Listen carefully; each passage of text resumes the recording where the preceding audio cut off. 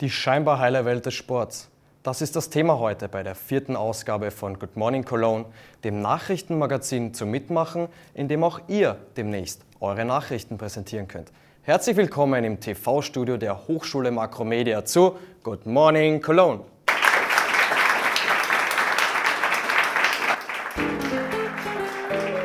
Good news,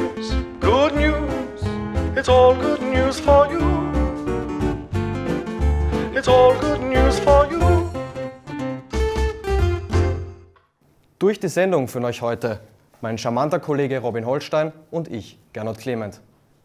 Unser Titel kündigt es ja bereits schon an. Wir wollen uns heute mit der scheinbar heilen Welt des Sports befassen und den kritischen Hintergründen. Dafür haben wir uns natürlich auch einen ganz besonderen Gast eingeladen. Er ist Redakteur beim WDR-Magazin Sport Insight und sein Spezialgebiet sind die Schattenseiten. Herzlich willkommen, Jochen Leufgens.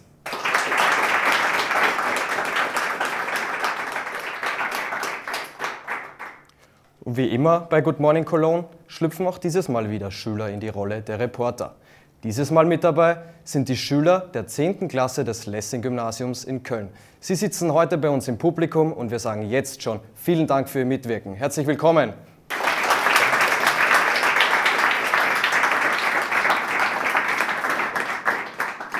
Uns zwei Sportjournalisten findet man sonst im Tonstudio der Hochschule. Nach vielen Sendungen in der deutsch-österreichischen Kombi sind wir jetzt hier bei Good Morning Cologne und verleihen dem eine sportliche Note.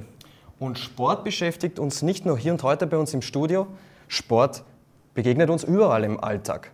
Ihr könnt euch bestimmt noch daran erinnern, an die Legende der antiken Olympischen Spiele. Zwischen damals und heute liegen Welten. Doch so wie sich der Sport verändert hat, haben sich auch die Nachrichten darüber. Stimmt gerne. Und mir fallen als erstes die sozialen Medien ein. Facebook, Twitter und Co. Die sind ja aus dem Sport gar nicht mehr wegzudenken. Doch einer der ersten Meilensteine in der Sportberichterstattung ist das Jahr 1792. Was da passiert ist, wissen Franzi Meyer und Lara Martens.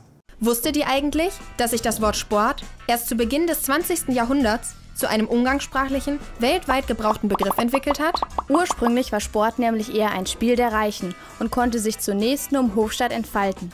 Kein Wunder also, dass das Sporting Magazine, die erste Sportzeitung, die im Jahr 1792 zum ersten Mal in England erscheint, fast nur über Pferdesport und Jagd berichtet. Trotzdem ist das Erscheinen des Magazins sozusagen die Geburt der Sportberichterstattung. Denn ab diesem Zeitpunkt nimmt das Interesse der Bevölkerung an Sportereignissen rasant zu. Ende des 19. Jahrhunderts richten Tageszeitungen sogar eigene Sportressorts ein, um den wachsenden Bedürfnissen ihrer Leser gerecht zu werden. Die Bandbreite an Sportarten, über die sie berichten, wird größer. Von Hockey bis Fußball ist inzwischen alles dabei. Artikel über Sportler, Analysen von Spielen und Hypothesen über künftige Ergebnisse. Die Inhalte der Sportnachrichten werden immer vielfältiger und differenzierter. Und mit der Erfindung des Fernsehapparats zieht Mitte des 20. Jahrhunderts die Sportberichterstattung auch ins Fernsehen ein. Für Sportfans beginnt eine völlig neue Ära. Entertainment für die breite Masse. Denn vor allem nach dem Zweiten Weltkrieg entwickelt sich der Sport zum Massenphänomen. Die Sportnachrichten gehören seitdem zu jeder Nachrichtensendung. Sport gilt als ein Garant für hohe Einschaltquoten. Und weil er eine enorme Werbefläche für Produkte aller Art bietet, steigt Ende des 20. Jahrhunderts auch das Interesse der Wirtschaft am Sport massiv an. Bei der Zusammenarbeit von Sport, Wirtschaft und Medien spricht man von einem magischen Dreieck. Die Wirtschaft entwickelt sich zu einem der Big Player in der Sportlandschaft und der Sport zur Ware. Auch die Sportberichterstattung verändert sich massiv in diesem Wettkampf ums Geld. Da es bei vielen Sportarten ums große Geschäft geht, erkaufen sich Fernsehsender die alleinigen Rechte an Sportübertragungen und fahren damit Milliarden Gewinne ein. Die Sportberichterstattung des 21. Jahrhunderts ist laut, bunt und schnell, ob mit HD, Drohne oder 360-Grad-Video.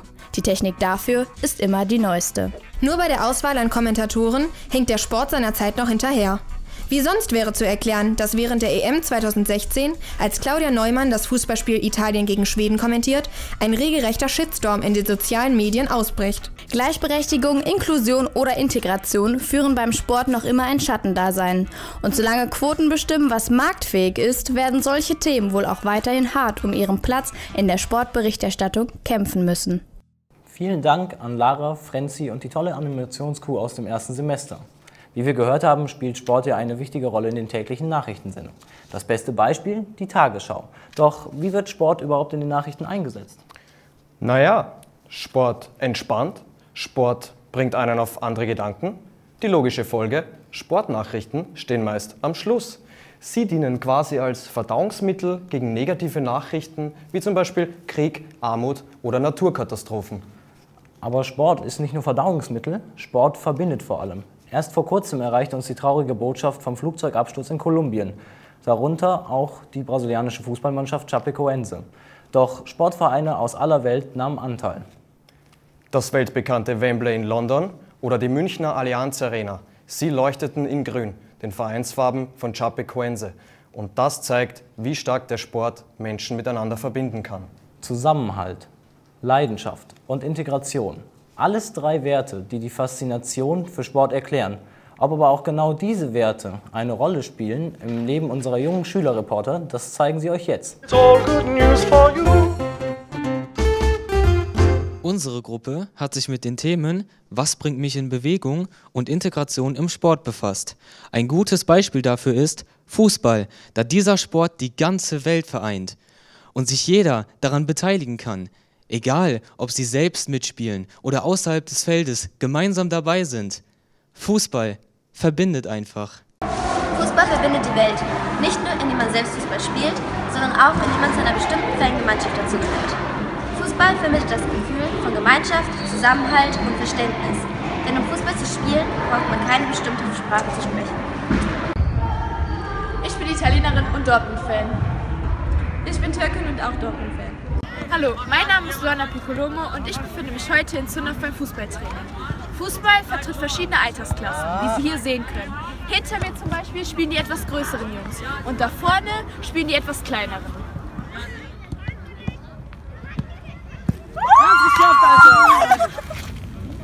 War das nicht ein gutes Spiel? Ja. Torball ist eine Blindensportart, bei dem der Ball rollend ins Tor befördert werden muss.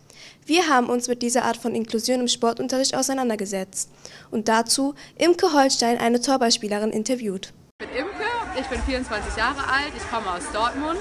Ähm, ich studiere da und spiele äh, Torball. Das ist eine Sportart, die hauptsächlich für blinde oder sehbeeinträchtigte Menschen ausgelegt ist. Ähm, in Dortmund spiele ich beim ISC Viktoria Kirchderne, den es aber demnächst nicht mehr geben wird, sondern ähm, unter dem Namen BVB weitergeführt wird. Äh, an sich ist Torball eine total inklusive Sportart, dadurch, dass äh, jeder willkommen ist. Es gibt ein paar Einschränkungen und zwar ist es halt so, dass ähm, immer nur ein sehender Spieler auf dem Spielfeld sein darf. Alle anderen Spieler, die ähm, spielen, müssen entweder sehbeeinträchtigt oder blind sein. Ähm, auf internationaler Ebene ist es kein inklusiver Sportart. Also wenn es dann über die deutschen Meisterschaften hinausgeht, dann sind Sehende komplett ausgeschlossen. Und ähm, was ich daran so ein bisschen überraschend fand, war, dass man sich dann als Sehender oder als nicht behinderter Mensch auf einmal total ausgeschlossen und exkludiert fühlt und ähm, das halt auch einfach mal in die andere Richtung begreift. Ansonsten ist Torball ein super Sport, um inklusiv äh, miteinander umzugehen.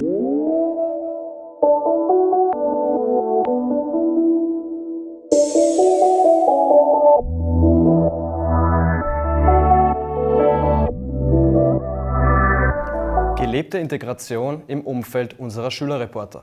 Vielen Dank an Celine und Konstantin, unsere beiden Nachrichtensprecher vom Lessing-Gymnasium. Toleranz, Teamgeist und gegenseitiges Verständnis. Auch das drei wichtige Werte im Sport. Doch was passiert eigentlich, wenn die zunehmende Kommerzialisierung gerade diese Werte verändert? Wir haben es im ersten Einspieler schon gehört. Je größer das Sportinteresse, desto mehr Sponsorengelder fließen. Und die Konsequenz? Der ökonomische Druck für Sportler wird höher. Wettbetrug, FIFA-Skandal, Staatsdoping in Russland.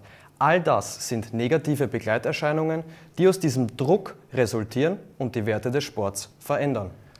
Aber nicht nur die Werte des Sports verändern sich, sondern auch die Berichterstattung darüber. Um im rasanten Wettbewerb der Online-Berichterstattung mithalten zu können, müssen Redaktionen und Journalisten immer wieder neue Methoden finden, um eben mit der Schnelllebigkeit des Internets klarzukommen. Geschwindigkeit und Effizienz sind die Schlüsselfaktoren. Das Tempo der Nachrichtenverbreitung ist unglaublich hoch. Kommt ein Mensch da überhaupt noch hinterher? Oder könnte die Arbeit vielleicht sogar eine Maschine übernehmen? Das haben sich zumindest die Erfinder von Roboterjournalismus gedacht. Im folgenden Beitrag beleuchten die Vor- und Nachteile dieser neuen Berichterstattung Lena Wolny und Maria Bravo. Roboter. Wir kennen sie aus Filmen, der Autoindustrie oder aus der Wissenschaft. Bald sollen sie uns auch in unserem Alltag unterstützen, zum Beispiel im Haushalt. Aber habt ihr schon mal was von Roboterjournalismus gehört? Was soll das denn sein? Sitzen da etwa Roboter neben Menschen in der Redaktion? Nein, ganz und gar nicht. Die Roboterjournalisten sind nicht sichtbar oder greifbar. Sie verbergen sich in einem Computer, als Software. Die Roboter sind automatisierte Schreibprogramme, die in Sekundenschnelle Berichte schreiben können. Wie das funktioniert, das habe ich die Firma AXEA aus Stuttgart gefragt. Sie hat sich auf Textautomatisierung spezialisiert und gilt mit ihrem Programm X-Semantics als Vorreiter in der Branche. Die Software kann zum Beispiel Berichte über Sportergebnisse oder über die aktuelle Verkehrslage schreiben sowie Veranstaltungskalender erstellen. Nehmen wir also an, wir, die Redaktion von Good Morning Cologne, möchten einen Veranstaltungskalender automatisch erstellen lassen. Hierfür müssen wir zuerst die Daten über unsere Veranstaltungen in die Software importieren, wie zum Beispiel den Namen, das Datum oder den Ort. Jetzt können wir in dem Programm entweder einen bereits bestehenden Text einfügen oder einen Text neu erstellen, der dann auch für alle weiteren Veranstaltungen dieser Art übernommen wird. Als nächstes müssen wir Schlüsseldaten, wie zum Beispiel den Veranstaltungsort, besonders kennzeichnen. So kann das Programm diese Informationen für jede weitere Veranstaltung anpassen. Der letzte Schritt ist der entscheidende, um zu unserem automatisierten Veranstaltungskalender zu gelangen. Alle weiteren Veranstaltungen werden jetzt nach dieser Vorlage synchronisiert. Neben diesen Vorteilen gibt es aber auch medienethische Bedenken. Unter anderem stellt sich die Frage, ob Unternehmen solche Automatisierungsprogramme zu ihren Gunsten manipulieren können. Thomas Hestermann, Journalistikprofessor an der Makromedia, sagt dazu, dass ähm, bestimmte ähm, Firmen schon heute Journalismus versuchen zu steuern, indem sie ähm, viele Informationen raushauen und manche Journalisten vielleicht mit Copy and Paste diese ungeprüft übernehmen. Das Problem haben wir schon heute. Und es wird am Ende immer darauf ankommen, wer sitzt am Ende der Entscheidung. Wenn wir gezielt und intelligent Maschinen nutzen, aber am Ende entscheiden Menschen, was dabei herauskommt, was womöglich korrigiert wird, was anders berichtet wird, dann muss man sich darüber, glaube ich, keine Sorgen machen. Die Medienbranche steht der Technologie zwiegespalten gegenüber. Haben Roboter das Potenzial, Journalisten aus ihrem Beruf zu verdrängen? Ich glaube, es wird weniger darum gehen, Mensch oder Maschine, sondern Mensch und Maschine. Äh, wir erleben das ja schon heute, dass natürlich Journalisten ähm, Suchmaschinen intelligent nutzen. Wenn aber, das erlebe ich ja auch bei Studenten, sozusagen das Googlen die Recherche ersetzt, dann hat das keinen Wert. Also es kommt darauf an, zum Beispiel gut zu googeln, gut mit anderen Suchmaschinen zu arbeiten und dann selber rauszugehen, nachzufragen, Interviews zu führen, hinter den Vorhang zu gucken. Wenn das, glaube ich, junge Leute auch in Zukunft machen werden, dann muss man sich auch über den Journalismus und die Zukunft des Journalismus keine Sorgen machen. Noch sind sie zwar keine Standardkollegen in den Redaktionen, aber einige Medienhäuser wie die Berliner Morgenpost und die New York Times benutzen bereits eine solche Software. Studien zeigen, dass Leser einen automatisch generierten Artikel nicht von dem eines Journalisten unterscheiden können. Das testen wir und lassen Studenten der Makromedia zwei Artikel zum gleichen Thema lesen. Welcher der beiden stammt von einem Menschen?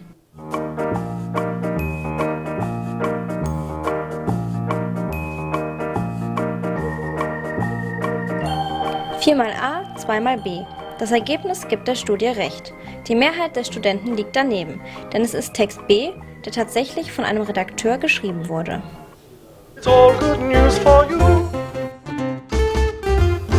Ein Roboter als Redakteur, ist das wirklich vorstellbar? Etabliert hat sich Roboterjournalismus noch nicht. Die Entwicklung bleibt aber abzuwarten. Bei mir sitzt jetzt unser Studiogast Jochen Leufgens. Jochen, wie schätzt du diese Entwicklung ein? Könntest du dir einen Roboter als Kollegen vorstellen? Als Kollegen ganz sicher nicht, weil ich glaube, der Roboter hat äh, dem Journalisten einen ganz großen Nachteil. Er kann halt einfach nicht evaluieren, er kann schlecht bewerten, er kann deutlich schlechter inhaltliche Kontexte herstellen, als das, glaube ich, ein gut ausgebildeter Journalist zumindest können sollte.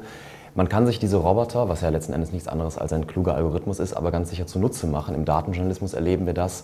Ein Algorithmus kann deutlich schneller große Datenmengen durch, durchforschen, als das letzten Endes ein Mensch kann. Aber das, äh, das Einordnen bleibt beim Roboter sicherlich noch auf der Strecke. Und das ist, glaube ich, etwas, was gerade in der Zeit, die immer komplexer wird, den Journalismus noch stärker ausmacht als vielleicht zu anderen Zeiten. Jochen, du bist Redakteur beim WDR-Magazin Sport Insight, beschäftigst dich da, wie wir eben gehört haben, mit den Schattenseiten des Sports. Viele wählen jetzt den Beruf des Sportjournalisten, weil sie Moderatoren, Kommentatoren werden wollen. Warum du nicht?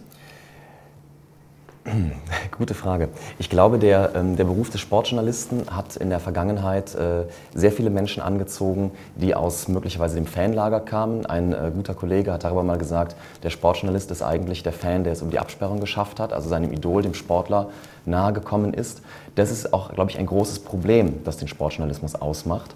Wer aber möglicherweise mehr von der journalistischen Warte daran geht, an dieses Sujet Sport, das letzten Endes nichts anderes ist als vielleicht das Ressort Wirtschaft, als das Feuilleton, als das Ressort Politik, der kommt, glaube ich, zur Erkenntnis, dass das reine abbildende, unterhaltende dem Sport nicht gerecht wird und damit auch der Gesellschaft, in der ja Sport ein Teil ist, nicht gerecht wird. Und ich glaube, es bedarf halt eines anderen Zugangs zum Sport als nur des 1 zu 0 Jubeljournalismus. Du sagst, es bedarf eines anderen Zugangs. Wie gefährlich ist denn die Arbeit als investigativer Sportjournalist? Letzten Endes ist das einzige Gefährliche wahrscheinlich der Koffeinkonsum, weil es relativ spät ab und zu mal wird abends, aber wir dürfen jetzt nicht äh, uns der Legende irgendwie ergeben, dass ähm, es an Leib und Leben gefährlich würde, weil wir teilweise in Gefilde reinstoßen, die zwar einem kriminellen Milieu ähneln, aber ähm, wir gerade als westliche Journalisten sind da im Sport sicherlich viel, viel beschützter, als es andere Journalisten weltweit sind, die wirklich in Krisengebiete reisen. Denen muss man diese Frage, glaube ich, eher stellen. Wer allerdings wirklich gefährdet ist, das sind teilweise die Personen, mit denen wir zusammenarbeiten, also die Whistleblower, also die Menschen, die uns tatsächlich unter großer persönlicher Einschränkung oder Gefahr Informationen halt bereitstellen. Um die sollte man sich sorgen, um uns, glaube ich, deutlich weniger. Du hast gerade gesagt, äh, Whistleblower. Du hast selbst entscheidend mitgewirkt bei der Aufdeckung des FIFA-Skandals. Jetzt stelle ich mir die Frage, wie kommt man denn an solche hochbrisanten Fakten? Mm, das ist von Fall zu Fall etwas unterschiedlich tatsächlich. Ähm, Im Falle des oder der FIFA-Skandale ja mittlerweile, ich glaube, den einen FIFA-Skandal gibt es ja nun nicht mehr, da gibt es ja viele Dinge. Was wir im äh, vergangenen Jahr gemacht haben, war beispielsweise ja noch einmal auf die Wahl zu schauen, die im Dezember 2010 bereits vonstatten ging, so ein bisschen was wie der Urknall im kritischen Sportjournalismus, als an einem Tag die FIFA die Weltmeisterschaft sowohl nach Russland für 2018 als auch nach Katar für 2022 vergeben hat.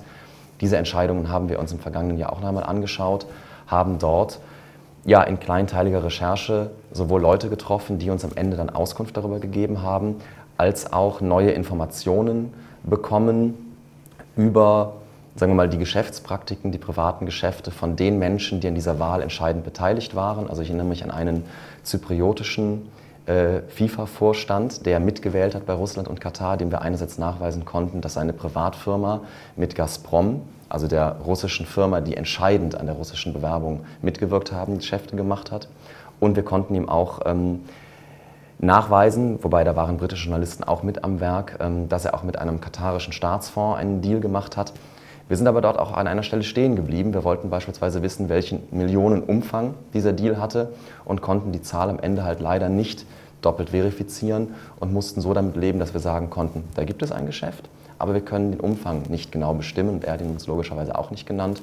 Bei dem russischen Deal war das etwas anderes. Da konnten wir eine klare Erfolgssteigerung seiner Firma nach dem Geschäft mit Gazprom nachweisen. Das geht teilweise über öffentlich zugängliche Quellen, teilweise über Menschen, die man halt in langer Arbeit ähm, sich zu Vertrauten macht und die einem dann Informationen geben können, die halt so einer Öffentlichkeit nicht durch Googlen oder andere Arten zur Verfügung stehen. Denkst du denn, dass in unserer schnelllebigen Zeit sich überhaupt noch genug Leute für die Hintergründe im Sport interessieren? Ich glaube, dass wir gerade im Jahr 2016 einen Paradigmenwechsel erleben, dass wir so ein bisschen die Zeitenwende im Sport hier sehen, dass ähm, der Sport dieses Jahr ist im wahrsten Sinne des Wortes, und verzeih das Wortspiel, den Bach runtergegangen. Nicht nur, weil der IOC-Präsident so heißt. Wir haben ähm, den russischen Dopingskandal weitererlebt, den wir 2014 mit aufgedeckt haben. Wir haben eine Entscheidung in der FIFA erlebt für das Präsidialamt. Wir haben weitere ähm, Verhaftungen und Verurteilungen und Ermittlungen im Bereich der FIFA erlebt. Wir haben aber auch erlebt, wie der Deutsche Olympische Sportbund mit dem Sport mittlerweile umgeht und dieses Gut mehr schlecht als recht verwaltet.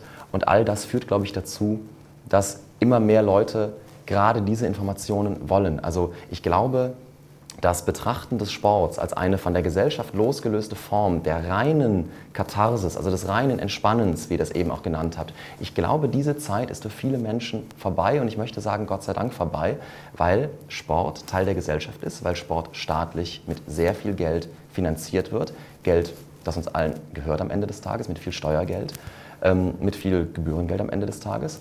Und ähm, der Sport gehört vielen. Eine kleine Gruppe hat versucht, sich diesen Sport zu eigen zu machen und da mehr reinzustoßen. Das ist, glaube ich, etwas, was viele Menschen angeht und an dem viele Menschen Interesse haben. Du beschäftigst dich ja hauptsächlich ähm, mit der Hintergrundberichterstattung und deshalb oft mit den negativen Aspekten. Glaubst du persönlich noch an die Werte des Sports? Ich glaube sehr wohl an die Werte des Sports. Ich glaube, der Sport hat eine ganz herausragende Chance für Inklusion, für Verständigung, für ähm, die Aufnahme von Menschen, die vielleicht in unsere Gesellschaft neu kommen, zu sorgen. Ich glaube nur, oder ich glaube sogar, dass der Sport das auf vielen Ebenen tatsächlich auch noch erreicht. Ich glaube nur, dass die, die den Sport verwalten, sitzen sie im Internationalen Olympischen Komitee, sitzen sie in der FIFA, in der UEFA, wir können diese ganzen Buchstabensalate durchgehen. Ähm, diese Menschen, die diesen Sport verwalten, sind meiner Meinung nach und nach unseren Recherchen darf man das, glaube ich, sagen, wahrscheinlich nicht die geeignetsten, um diese Werte voranzutragen, weil viele dieser Menschen in der Vergangenheit, die in der Verantwortung waren, sich lieber die eigenen Taschen voll gemacht haben, als diese Werte zu transportieren, die der Sport sehr wohl hat. Jochen Leufgens, Redakteur beim WDR-Magazin Sport Insight, er glaubt sehr wohl an die Werte des Sports, sagt aber auch, es bedarf eines anderen Zugangs und man muss die Leute bekämpfen, die sich den Sport zu eigen machen. Und damit vielen Dank für das Interview. Danke.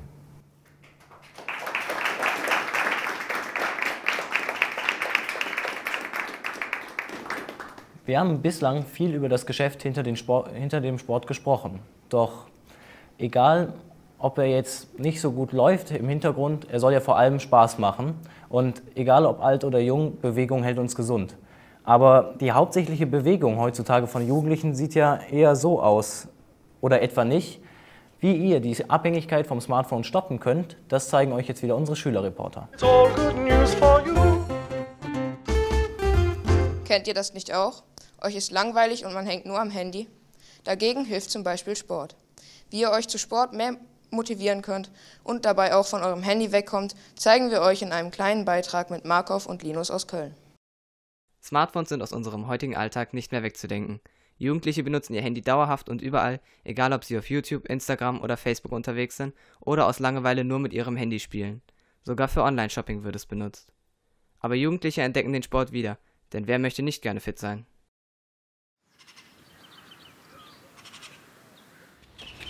Markov und sein Freund Linus gehen gerne joggen. Wir haben sie dazu interviewt. Was motiviert euch, Sport zu treiben? Was bringt euch vom Handy weg? Also wir machen sehr gerne Sport, weil dabei kann man sich mal richtig auspowern und man ist auch richtig entspannt.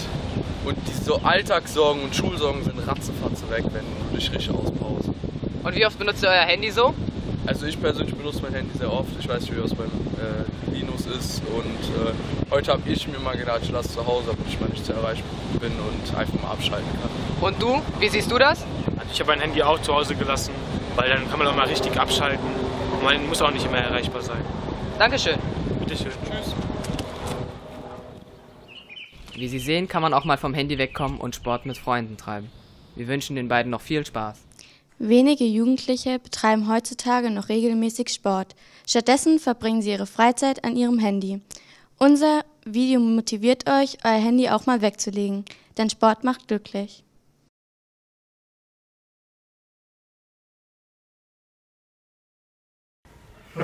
Daniel, ist das öde hier? Guck das Video an. Guck mal, wie lustig. Lass uns doch rausgehen, ein bisschen Körper. Nein, guck mal das Video an, gleich, guck mal, Katze.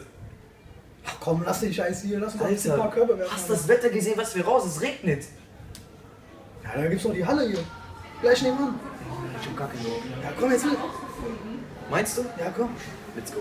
Komm, wir gehen. So, ich hoffe, die Tür ist zu.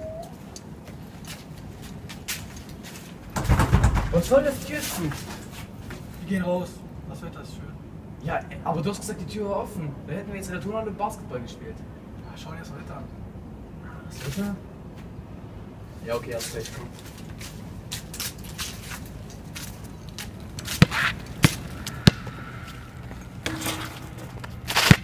Das war ein Treffer. Schön.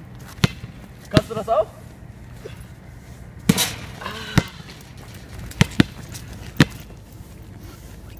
Hi, ich heiße Daniel Weckerle und eigentlich spiele ich kein Basketball, aber ich betreibe Sport, ich mache Judo mehrmals in der Woche und ich mag das, da kann man einfach mal abschalten hat ein bisschen was mit der Natur zu tun.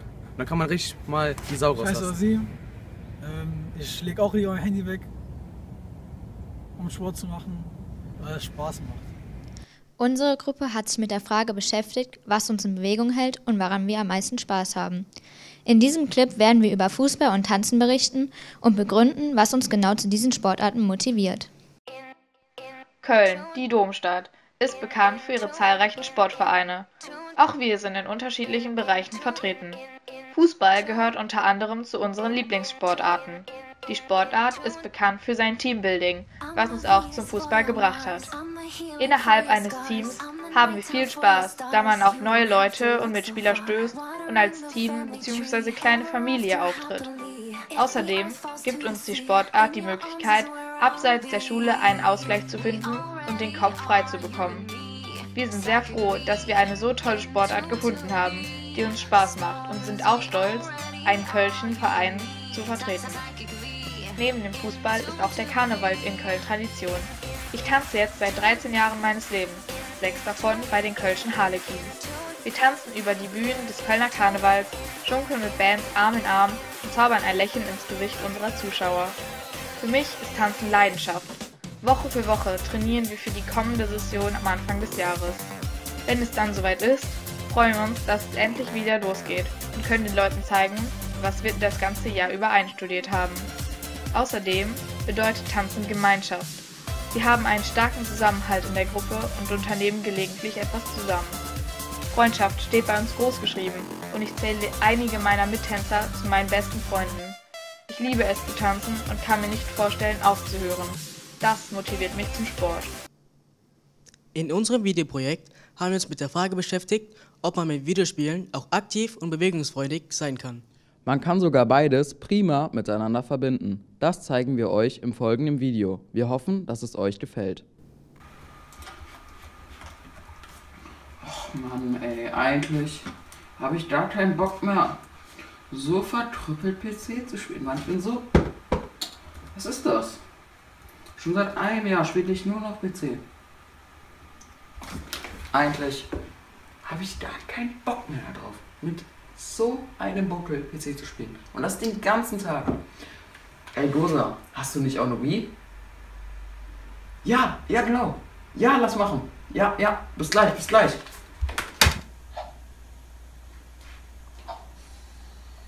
Ich mach dich kaputt, Mann. Ach du Kacke. Ah. Alter, das macht voll Bock, Mann. Lass das mal den ganzen Tag machen.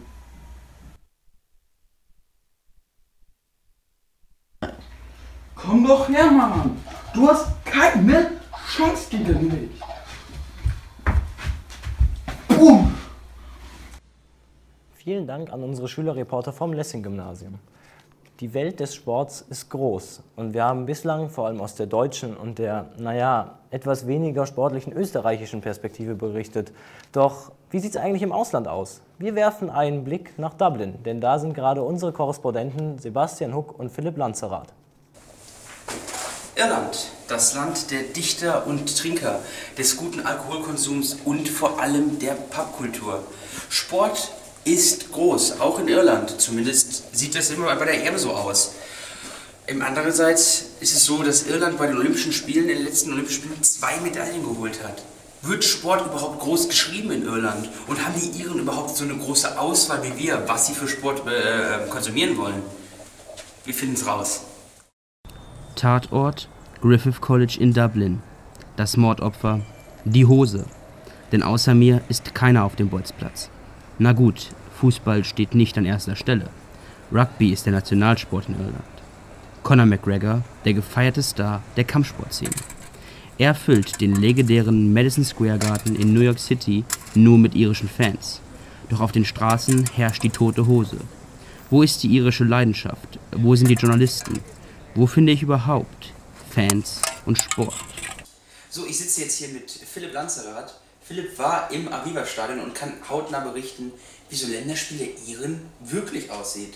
Philipp, erstmal ja, du warst wirklich da. Was für ein Spiel war es denn überhaupt? Ja, wir haben uns äh, schon, als wir noch in Deutschland waren, vorgenommen, äh, zum äh, WM-Qualifikationsspiel der Iren gegen Georgien zu gehen. äh, Anfang Oktober und waren natürlich äh, ja, mega begeistert und auch hatten hohe Erwartungen äh, nach der EM, wo die, wo die irischen Fans wirklich auf den Rängen wirklich äh, richtig klasse Support hingelegt haben. War das im Endeffekt so, dass die Vorstellung, die du hattest, von den irischen Fans bestätigt wurde? Die Stimmung war okay, also es war, war eine äh, ordentliche Bundesliga-Stimmung, würde ich sagen, wie, wie in der Bundesliga in, in vielen Stadien in Deutschland. Das ist aber jetzt nichts Außergewöhnliches. Bundesliga-reife Stimmung. Aber Fans und Berichterstattung kratzen nur an der Oberfläche und sind international orientiert. Ich betrachte den irischen Sportsgeist bei einem College-Spiel. Da ist es auf einmal. Das irische Feuer. Die Fans voller Leidenschaft. Das Spiel ist hart. Zu hart. Nach einer Schlägerei endet es. Aber was sagt das alles über Irland aus? Okay, also final muss man wirklich sagen, die irischen Fans sind so, wie sie in Medien dargestellt werden. Sie sind freundlich, haben, äh, sie sind freundlich, haben sehr viel Spaß, sind immer gut gelaunt, egal wie ihre Mannschaft spielt. Aber der irische Sport, der ist im Kommen. Das weiß nicht nur Gernot mit seinen Österreichern, sondern mittlerweile auch äh, die Boxwelt. Bei Olympia können sie noch ein bisschen nachrüsten und auch in der Sportberichterstattung ist alles sehr, sehr oberflächlich. Aber generell kann man wirklich sagen, Irland ist eine Sportnation, die vielleicht im Kommen ist. Und damit gebe ich zurück ins Studio. International ist Irland also auf einem sehr guten Weg. Großartige Unterstützung der Fans bei der Fußball-Europameisterschaft und Conor McGregor hält die Kampfsportwelt in Atem. Und an Olympiamedaillen in Rio gab es sogar mehr als für Österreich. Was ist denn da los, Gernot? Ja, Robin, wir sind eine Wintersportnation und deshalb würde ich vorschlagen, wir sprechen uns wieder in zwei Jahren nach der Winterolympiade in Südkorea. Ja, so kenne ich unseren Gernot. Ausreden hat er immer parat und Olympiasieger könnte damit auch locker werden. Doch egal ob Wintersport oder Sommersport, Sport ist ja für uns alle da. Und wenn uns die Werte wichtig sind, dann müssen wir auch alle zusammen die Verantwortung übernehmen und dürfen die Schattenseiten nicht ignorieren. Und damit sind wir schon am Ende unserer Sendung angelangt. Beim nächsten Mal geht es dann um Kunst und Kultur in den Nachrichten. Im Namen der gesamten Crew sagen wir Danke und wenn ihr euch mal bei uns als Schülerredakteure bewerben wollt, dann schaut einfach auf unsere Homepage. Dort findet ihr nicht nur alle Infos zum Bewerben, sondern auch alle bisherigen Sendungen. Noch einmal im Namen der gesamten Crew. Danke fürs Kommen. Bis zum nächsten Mal, wenn es wieder heißt Good Morning Cologne. Good news, good news, it's all good news for you. It's all good news for you.